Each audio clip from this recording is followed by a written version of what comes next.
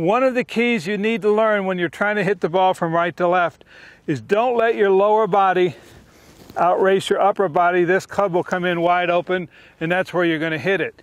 You want to have a feeling that you're quieting that torso down, letting your arms swing past your body. All right, a little bit of a closed stance. I'm visualizing the inside of the ball because that's where I'm trying to hit it.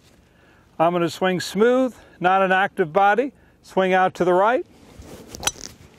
And hit me a nice draw that goes away from the trouble on the right.